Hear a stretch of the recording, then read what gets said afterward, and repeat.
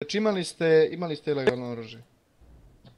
Mm, imao sam jednu heavy, heavy shotgun, imao sam Pa, jednu ilegalnu. Da, da, da, ali ja sam pretražen, ja sam pretražen tek Dobro. u zatvoru. Ne pre toga.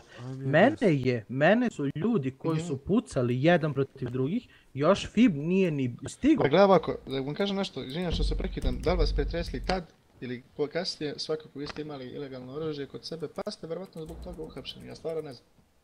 Ajmo jedno pitanje još. Dobro, Da, Reci, kolega. gledam 5 sekundi.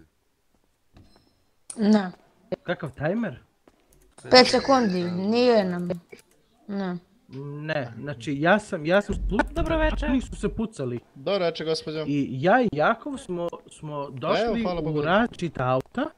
Mhm. Znači ja sam došao, stao pored, e, i- stao pored, da kažem stao, vozio polako pored, e, pored e, mosta, odjedanput, znači dečko, ne- neko Nisi mene zanimljiv, dubio, ajde, ja sam, da kažem, mrtav, A to si ti Mm. majmune I- jedan.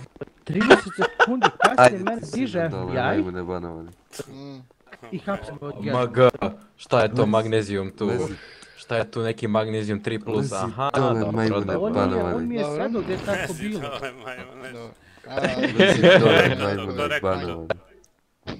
Nije valjda Čekaj da palim Jao, to ne lezi dole, e, kako beše ono.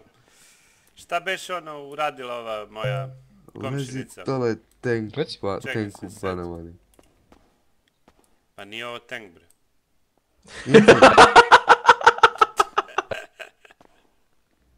Nego, Nije tank, ali neko drugi je. Ovo ti je haubica, brate, ona druga džamla, haubica džamla. Jel Tako Džomla? beše? Džamla. Ona druga, Ja, ona tank druga banovana više Ja, sila, niža, al te- e, udaraju bi te da mogu. da, konto tank. Šta kažeš? Gospodo, Šta ja- Ja kažeš? ovako. Bivša više sila, niža sila. Važi.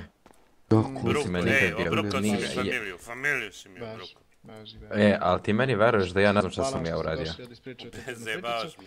Ovaj, Životom ja ne znam šta sam Čekaj, uradio. sad ću ja kažem šta si uradio, samo se na- Pa ja mislim da je pisalo bug abuse, ali ja ne znam šta sam Pa, pa, razumiješ? Jesi Pa, prenio motor ovaj preko kolega pošte? i to je to. Eto, Ne motor znam, mislim da je to bilo preko pre 7 to mjeseci, razumiješ? nije baš me briga, nego eto, to mi znači to što Jesi sam prenio motor preko pošte?